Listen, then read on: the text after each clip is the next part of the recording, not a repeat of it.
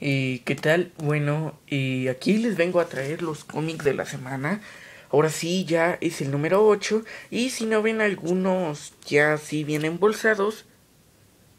Y pues es porque no tengo Durex y pues aparte me funciona para así leerlo y luego hacerles la reseña antes de pegarlos con Durex, ¿ok? Esta semana conseguí 5 cómics y pues vamos a empezar. Eh, el primer cómic fue The Amazing Spider-Man número 688. No se preocupen, les voy a traer reseña. Eh, una gran portada de Lizard con mordiendo Spider-Man. Y pues siento que va a ser buena historia porque leí el preview y siento que va a ser buena historia. Y aparte los casos de Camuncoli no me tengo que quejar porque ya sé cómo son. Luego, Amazing Spider-Man 689, una portada grandiosa del Dr. Connors con Spider-Man y no sé qué sea esa cosa fea. Y también escribe como un coli, perdón, dibuja como un coli y está escrito por Slot. Eh, Wolverine and the X-Men número 12, el tie de Avengers vs. X-Men, seguimos.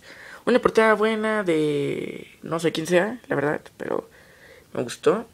Y pues eh, los trazos de Bachelor ya sé cómo son, así que son regulares. Y el guion de Aaron espero que no baje de calidad en este cómic.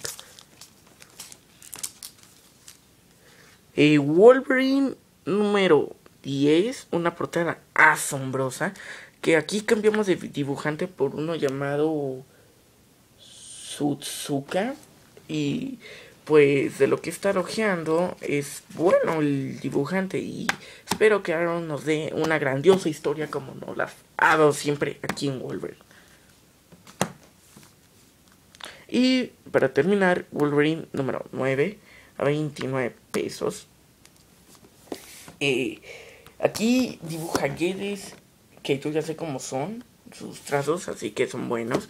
Y el guion de Aaron también espero que sea buen guion, como esta grandiosa portada, que está muy buena, solo que se parece a la del número 2, pero no hay rollo. Y bueno, eh, esto ha sido todo. Y pues les tengo que decir que... A ver, vamos a armar un poco acá. Ay, bueno, se me olvidó lo que les iba a decir, pero suscríbanse en el guion de aquí, en el guion, en el botoncito de aquí arriba, que está por aquí arriba.